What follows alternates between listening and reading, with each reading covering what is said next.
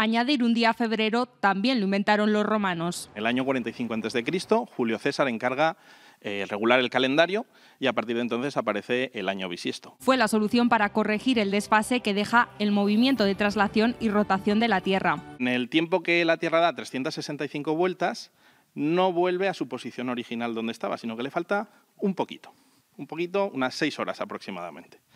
Las cuentas con esas seis horas no terminan de cuadrar. Y en el siglo XVI la Pascua estaba fuera de fecha y el Papa Gregorio XIII volvió a darle una vuelta al calendario esa reforma del calendario juliano al calendario gregoriano, en el que ya pues, se hace, primero se pasó del día 5 al día 14, 15 de octubre, o sea, hay de días que, más o menos, que no existen en el calendario, y ya ahí se establece pues, ese reajuste. Los años bisiestos, que son múltiplos de 100, es cuando no se aplica ese día bisiesto para, pues, eh, para poder corregir aún así pues, pues, ese pequeño desfase. Con las matemáticas claras, vamos a la estadística. La probabilidad de nacer hoy es del 0,68%. 871 aragoneses cumplen años hoy, como Isabel. Durante cuatro años estoy esperando que llegue un día en el calendario y, esto, este año ha llegado. Lo que pasa que no se piensa la gente que los años en los que no hay 29 de febrero no celebro, porque entonces lo que hago es celebrarlo por partida doble, el 28 y el 1.